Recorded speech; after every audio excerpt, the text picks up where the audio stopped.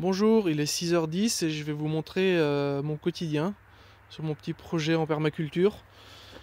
Alors je ne vais pas vous euh, montrer le travail que je fais toute l'année pour, euh, pour, mettre en place des systèmes permanents parce que c'est un travail que je ferai qu'une fois dans ma vie. comme planter des arbres, fabriquer le poulailler, installer la serre. Donc ça prend beaucoup beaucoup de travail mais c'est un travail très valorisant parce que une fois que c'est fait, c'est en place et ça permet de, d'avoir de la production pour le reste de sa vie. Là, ce que je vais vous montrer, c'est euh, c'est ce que je fais tous les jours, tous les matins, 365 jours par an. Et vous allez voir que ça prend à peu près 5 minutes. Ça prend encore moins de temps quand j'ai pas une caméra et une lampe torche dans la main.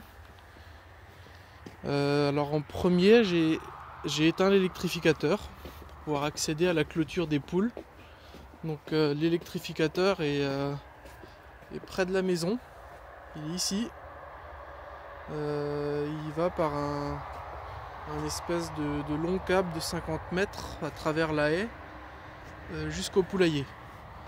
Donc c'était euh, assez compliqué à installer aussi, mais maintenant j'ai un électrificateur sur le secteur et je m'embête plus du tout à, changer les batteries, à installer un panneau solaire super cher. Donc le premier truc à faire c'est de remplir les deux arrosoirs d'eau. Alors euh, maintenant que l'eau est fraîche, l'eau de pluie, je, prends l'eau de pluie en préférence. Sinon j'ai un robinet, une arrivée d'eau ici, euh, qui malheureusement n'est pas active en hiver et les, euh, les réservoirs d'eau sont vides aussi en hiver. Vous allez voir, ça prend 5 secondes. Et quand je filme pas en même temps, je gâche pas d'eau. Donc je disais, euh, en hiver, les réservoirs d'eau et le robinet sont complètement désactivés. Donc euh, j'ai une tâche supplémentaire, c'est de traverser la maison avec deux arrosoirs pleins d'eau. C'est pas très très agréable. Mais ça dure deux ou trois mois dans l'année. Si vraiment je voulais optimiser, je pourrais euh, allumer et éteindre l'eau à chaque fois qu'il gèle ou qu'il dégèle. Donc j'aurais accès au robinet extérieur, ça serait beaucoup plus agréable. Donc là, je viens de faire 20 euh, mètres euh, de la maison au, réservoir d'eau.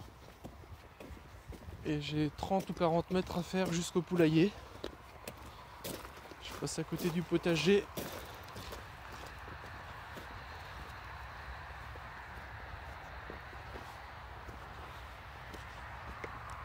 Voilà. Alors je pense que vous avez remarqué qu'il fait nuit. Mais il faisait pas nuit il y a deux semaines depuis le changement d'heure. Euh, donc euh, je pense que d'ici une semaine ou deux, il fera jour à nouveau quand je me lèverai. Ça sera très valorisant. Euh, ça, c'est le réservoir que je remplis une ou deux fois par semaine. Il fait, je crois, 80 litres, c'est possible? Oui, je pense que c'est 80 litres. Et ce que je fais tous les jours, c'est que je vide la coupelle, mais là, elle est encore, l'eau est encore à peu près propre. Donc c'est juste euh, pencher le réservoir pour que l'eau se vide. Euh, et après il se re-remplit tout seul par gravité. Et euh, l'eau je l'ai ramenée pour les petits réservoirs. Donc je leur donne de multiples réservoirs. Ils sont tous sur des blocs de béton ou des petits pavés ça évite euh, beaucoup de, salissure de l'eau. Là donc en ce moment le grand réservoir tient beaucoup plus longtemps parce que ma, canne de barbarie est en train de couver. Quand elle couve pas, elle passe sa journée à se gargariser là-dedans, donc je le remplis tous les deux jours. Elle prend de l'eau, elle se gargarise, elle le, crache ou elle l'avale, je sais pas ce qu'elle en fait. Elle fait ça pendant des heures entières. Ok, aussi une fois par jour, je dois remplir le, non une fois par semaine plutôt, je dois remplir le, nourrisseur. Ça c'est temporaire, à un moment donné je leur donnerai de la nourriture tous les jours quand j'aurai appris à doser, la nourriture. Un dernier truc à faire c'est d'ouvrir le poulailler.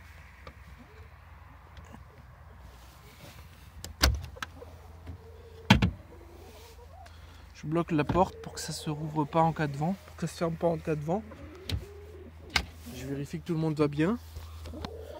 Coucou les poules. Tout le monde va bien Toi, t'es pas une poule.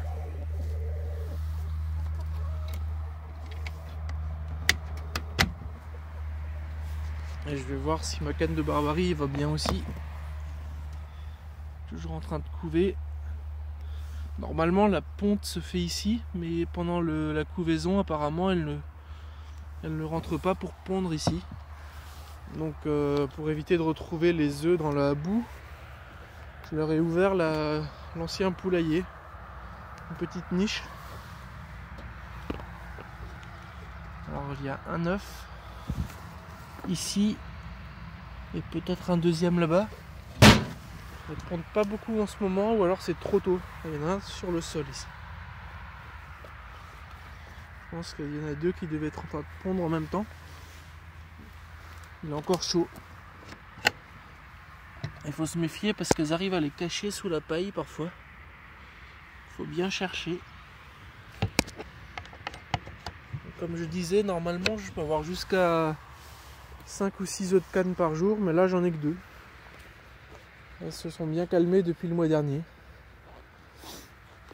Voilà, et c'est tout pour mon travail du matin. Après, je vais au, je vais faire mon, emploi à plein, temps d'ingénieur informatique.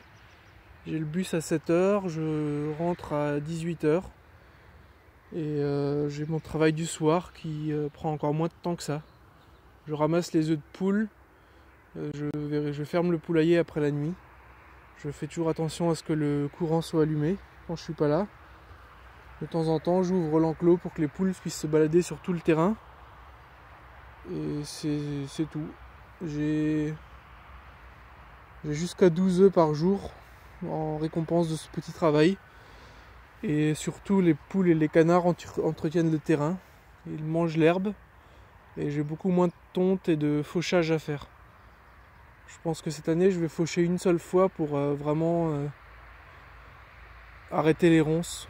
Mais c'est tout ce que j'aurai à faire. Et maintenant, il est 7h et euh, c'est l'heure d'aller prendre le bus.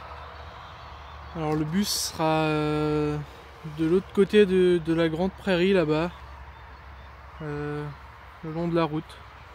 J'ai un petit bout de national à faire à pied, c'est pas très agréable. Et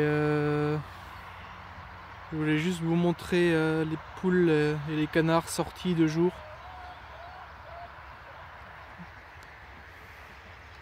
On a un beau petit brouillard ce matin, c'est assez joli.